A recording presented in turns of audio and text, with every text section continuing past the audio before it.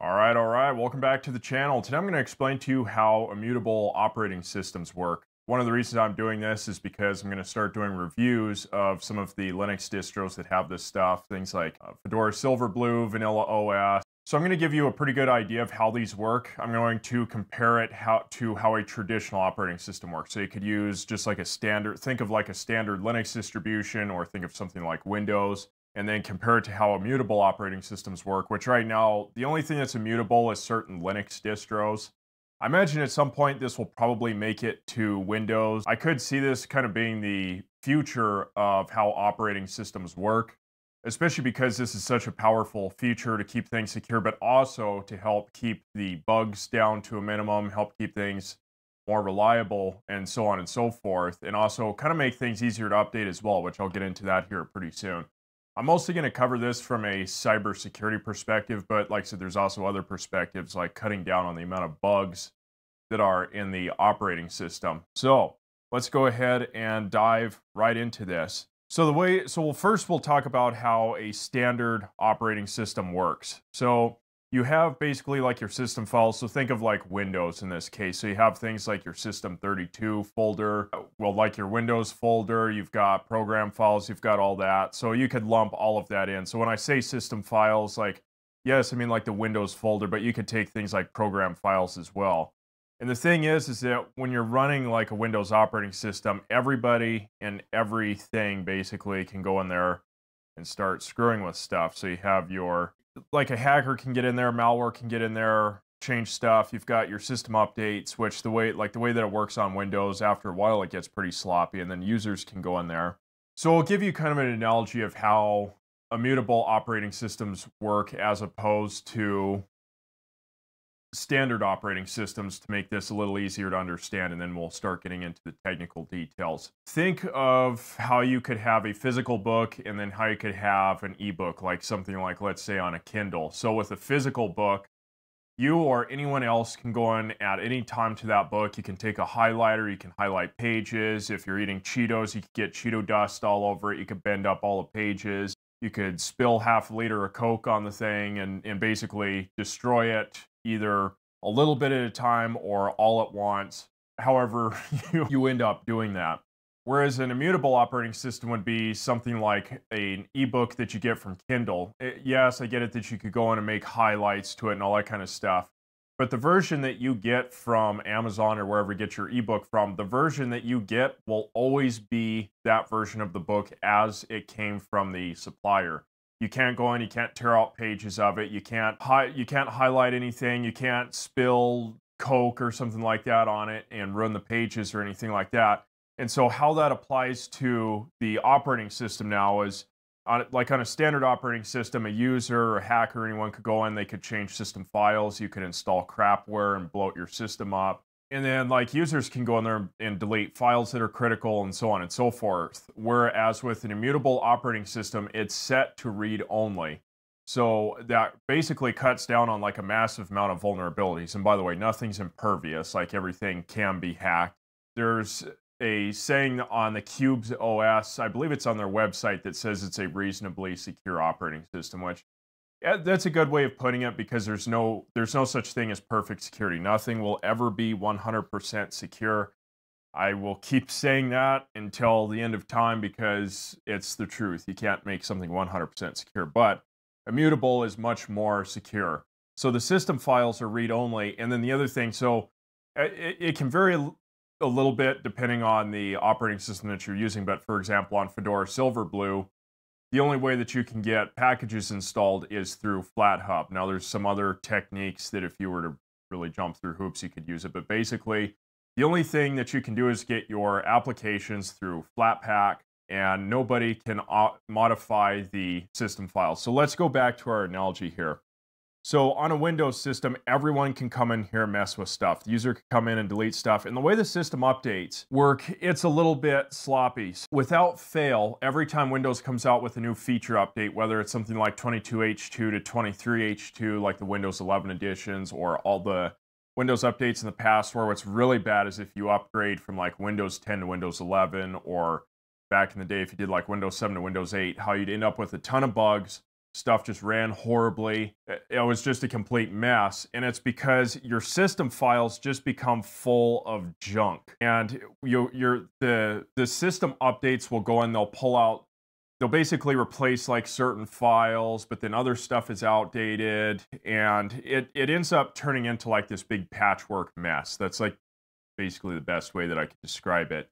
It turns into this patchwork mess, and then you also have all of your applications as well that can go in and add all of their stuff. So you have things like registry keys, you have all the miscellaneous files, you have stuff that shows up in the hidden files like the user data folder it just becomes this big massive cluster.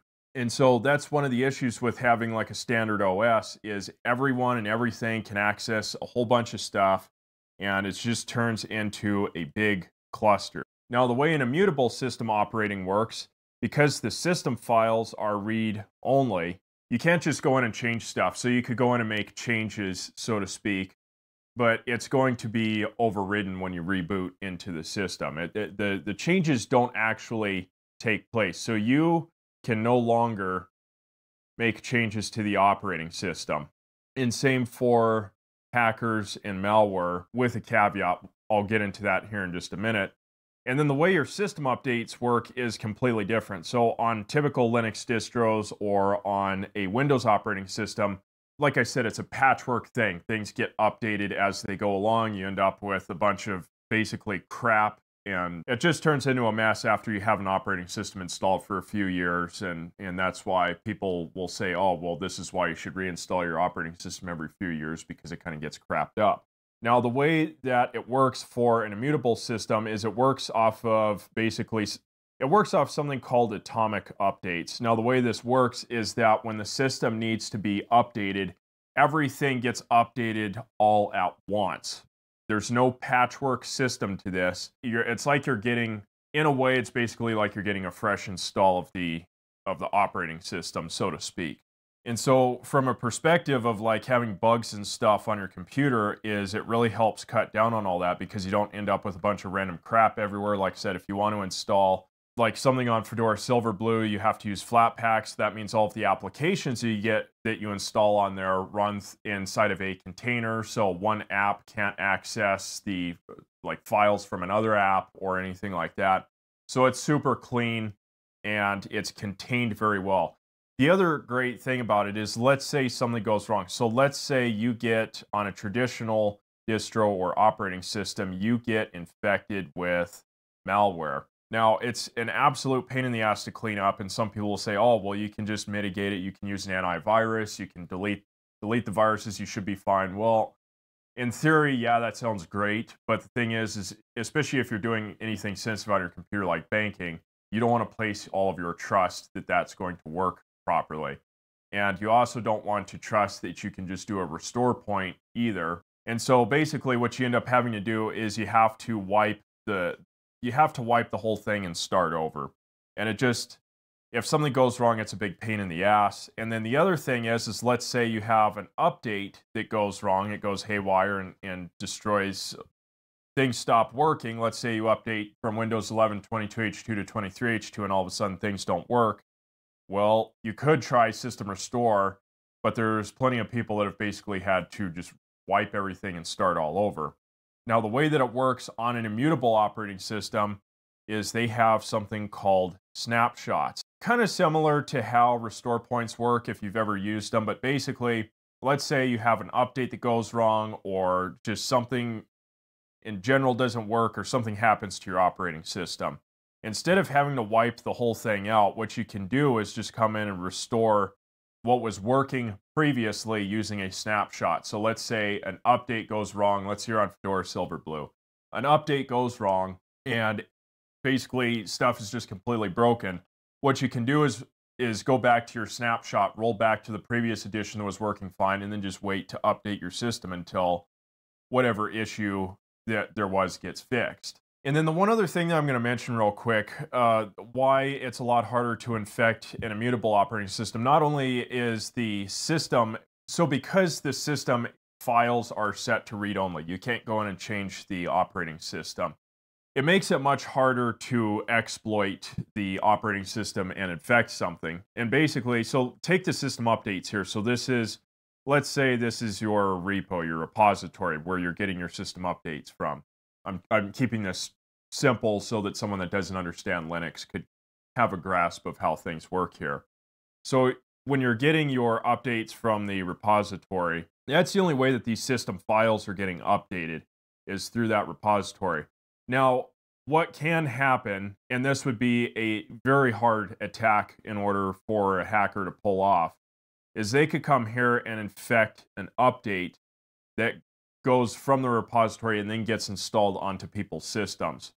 Now, like I said, it would be extremely hard to pull something like this off, but that's really about the only feasible way that they would have to be able to infect a computer besides taking advantage of something like, let's say they discovered a vulnerability and were able to take advantage of that.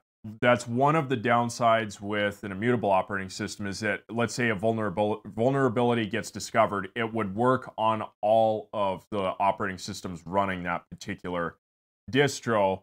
But on the flip side, it also makes it a lot easier to patch those problems out because then when one of those issues comes up, is the developers can go in and patch it for basically everyone all at once like anything else in life, everything's got its pros and cons. Nothing's ever perfect, but the the immutable operating systems, like I said, they're really great. I think they're going to be the way of the future eventually. And and right now, Windows doesn't have that option. I, basically, if you're on Windows, the closest that you could get is to have your computer set to the secured core PC standard. But even then, it's not actually immutable. It's you could still very easily get an infection on there. Whereas it's somewhat more difficult with the way immutable operating systems work. And when I say somewhat difficult, like I said, it's not impossible. Nothing is ever 100% secure. But these are great operating systems. It's really great for beginners. So let's say you are new to Linux and you don't have any experience then this would be a great option for you because if you took something like Fedora Silverblue or Vanilla OS or something like that, like so I'm going to do reviews of these, but I wanted to make this video first to kind of explain the concept of why I really like immutable operating systems.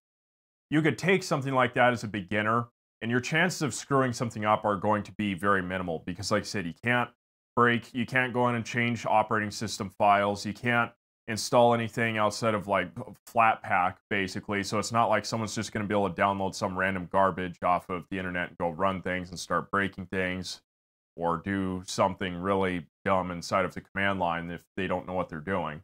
Or, and it's also great for people that just want something simple, reliable, basic.